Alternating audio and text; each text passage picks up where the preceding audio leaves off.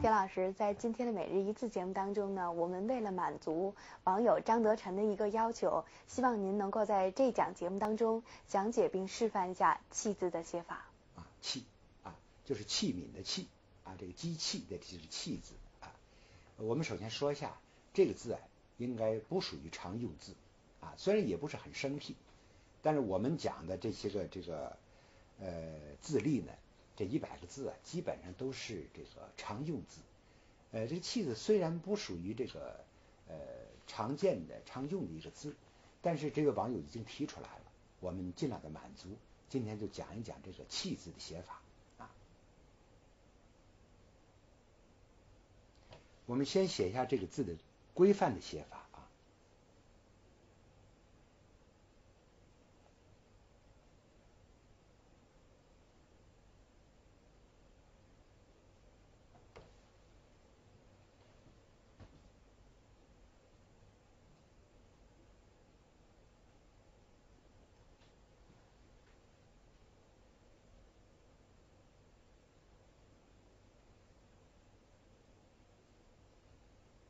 这是这个字的规范写法，但是，呃，在古碑帖当中见到这样写的有，是这样有，但是，呃，相对数量少得多。呃，正是在碑帖当中所见到的这个“契”字，多数都是这样写。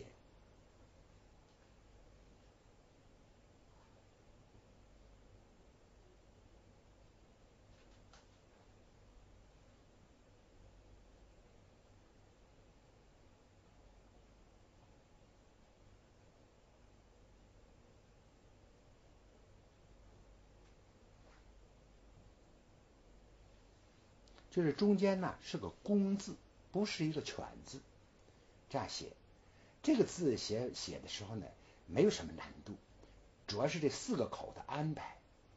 呃，它的接体就是中间这横要长，无管楷书、行书都要长，只是到了草草书的时候，中间忽然短起来了。突出重点呢，突出上边的这和下边这整体四个口。在这个楷书和行书当中呢，就是。呃，这四口写的要紧凑一些，把中间横探出来啊，呃，让它做一个支架。呃，看一下呢，就是它这当中的这些个呃间距呢要准啊，要准啊，就是这个要注意这个问题。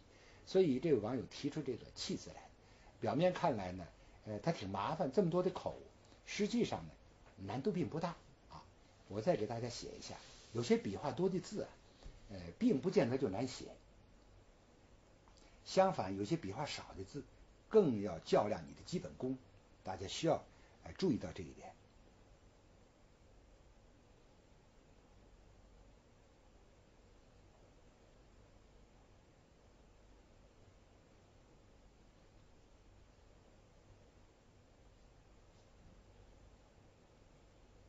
这一长横啊，是看基本功的。写不好这一横，这个字就塌陷了。这一横是这个字的主笔，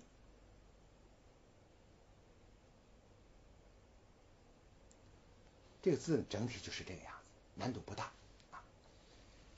呃，如果你呃想规范写，就中间写一个犬字啊，犬字呢横长撇儿和捺都缩为两个小短点儿啊，是这样。我再写一个这个这个字的这个规范字啊，就是中间加犬字的这个。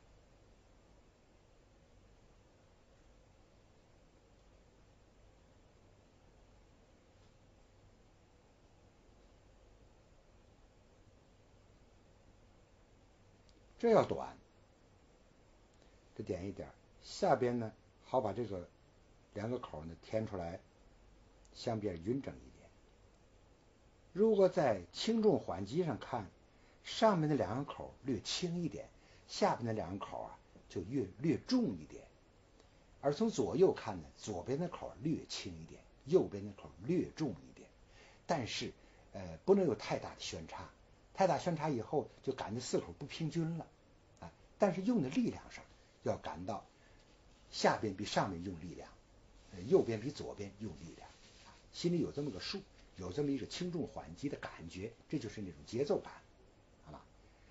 呃，下面我给大家呢，呃，再写一下这个字的行书写法。新书写法也继续可以写个工，也可以写一个犬字，但是在新书当中，多数的前辈书家们不再加右边的一个点儿，也就是写成一个大，不再写犬。只要你能认读无误，达到这一点，嗯，他就不再去呃写那个点儿，就省略了啊。但是点个点儿也没有错误。我们先看一看前辈书家多数人是怎么写的啊。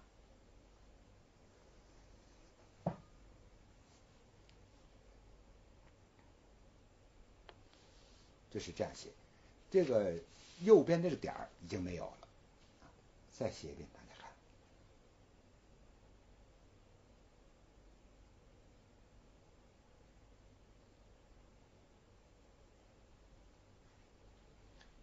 这是一个基本的写法啊，所以我愿意还写个“工”字在里边，也未尝不可。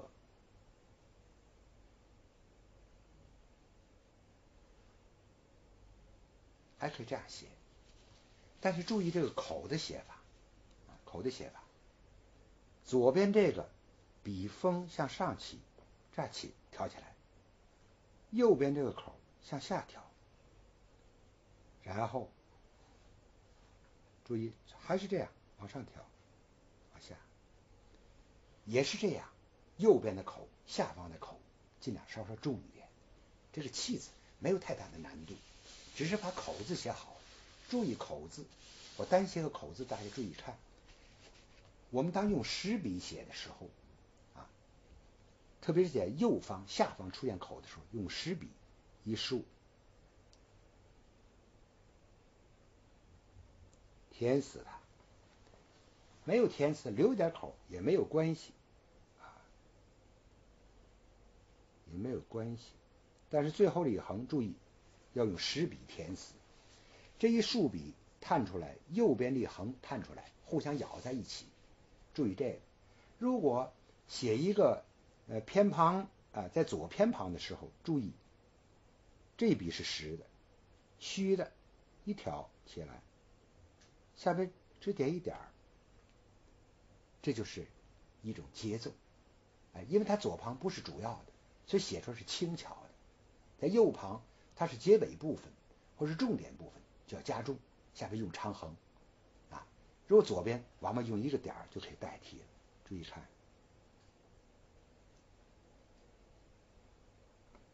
就这样啊。好，我们左边这个口呢，写一个呃比较。完整的字，比如说呼吸的吸，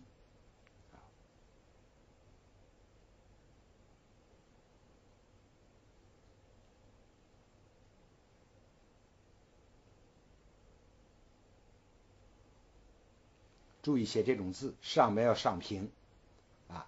吉字呢，先写撇，笔顺不能错啊。好了，我们下面开始跟跟大家讲一讲关于气字的这个字的草书写法啊。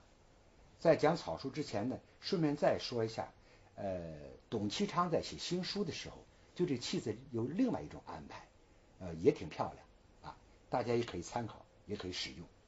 就是他这样写，上面两个口没有问题，这长横，然后这撇写的很短，这一下写很长，挑起来了，然后在这儿写一个口，在这儿写一个口，用这种方法，再看一遍。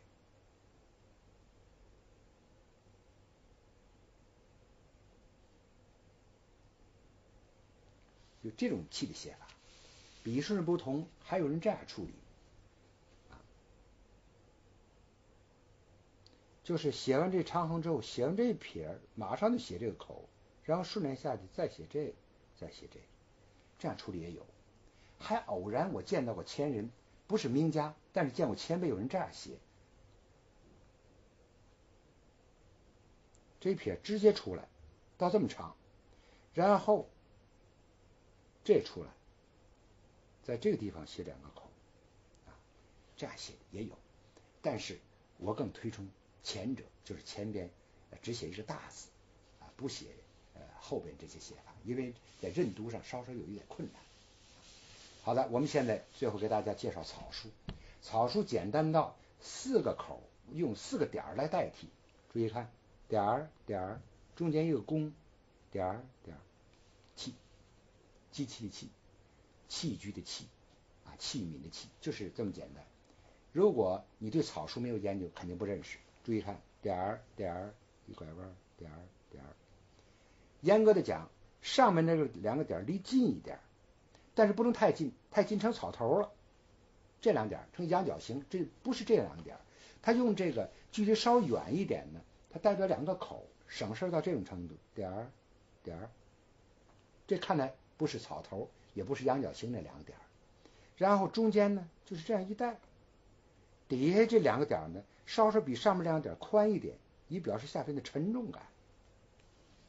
就这样，好，我写快一点让大家看啊。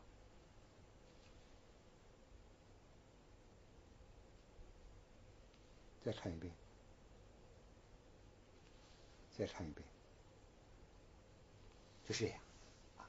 所以这个草书的气字，呃，基本上就是这种写法啊。偶然有别的写法，呃，就不重要。我们首先向大家推荐这个孙过庭啊、王羲之等等、赵孟頫等人都是这样写啊，大家呢呃了解一下就行了。田老师，我们知道今天的这集讲座呢，已经是我们百集系列讲座的最后一集了。那么在今天的这个讲座当中，您希望和我们的网友说些什么呢？啊，呃，感谢各位网友和书界的同仁。呃，从五月份，五月初我们开始，一直坚持到现在，整整搞了一百集的书法讲座，题目叫每日一题。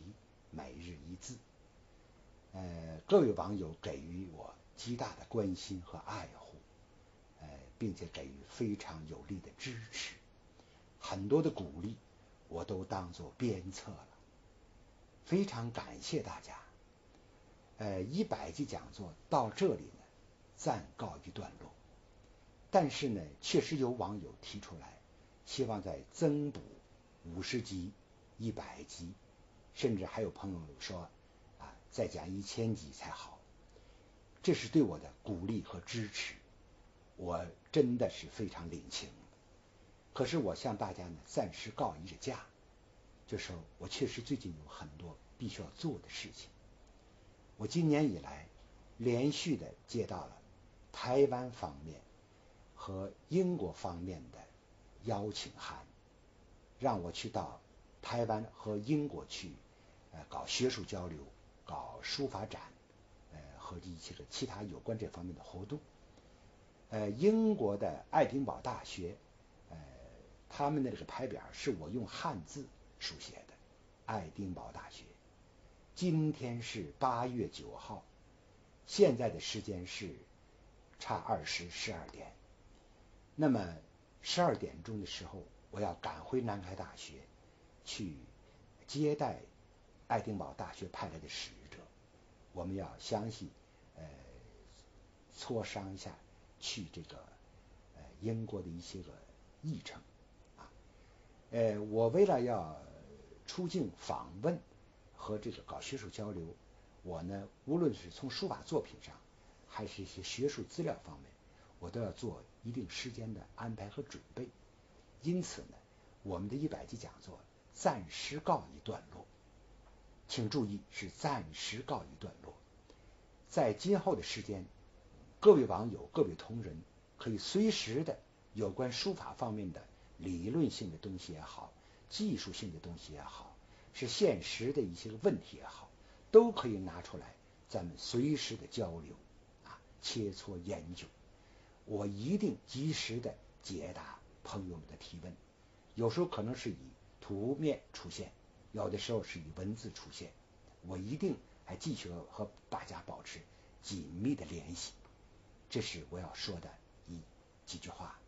另外呢，呃，再告诉大家一个信息，就是说，在这一百集讲座以后，呃，北方网这块宝地将呃把我在一九九七年到二零零年这三年当中，我在天津电视台。录制播放过的五十集讲座将在北方网陆续播出。